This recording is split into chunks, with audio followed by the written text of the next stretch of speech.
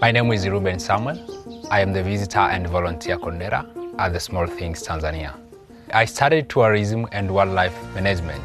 I have been working in tourism for more than seven years. The Small Things, we are working with orphans and the vulnerable children. The proceeds that we get from tours is go direct to TST community. Today you are going to learn about coffee.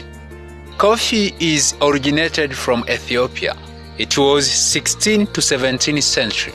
Here in Tanzania, coffee was brought here by Catholic German missionary. It was 1894 and it was in Kilimanjaro region where the trees was planted. We have two types of coffee. We have Arabica and Robusta. So this is Arabica coffee. We don't have Robusta here.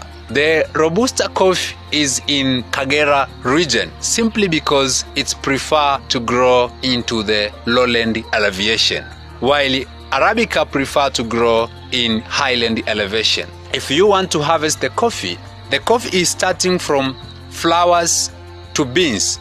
It has four stages. So this is flower, and here is green coffee, yellow coffee, and red in color, which means that it's ready to harvest. So from flower to red color, it takes five to six months. So we pick by using hand. We don't have machine to harvesting coffee. And then from there, we do fermentation.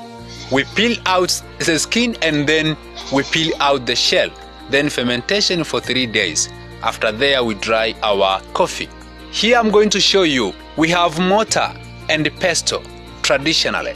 So if you want to make a coffee, here simply you take coffee beans to the mortar and then you grind the coffee by using mortar. Aims to separate shells.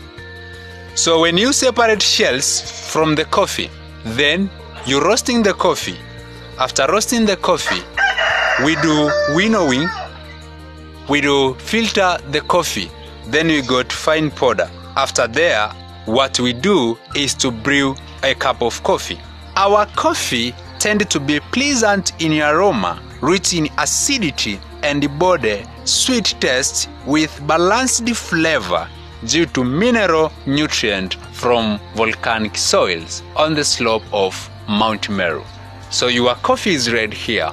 Enjoy a cup of coffee that you made by using your own hands. Karibu sana.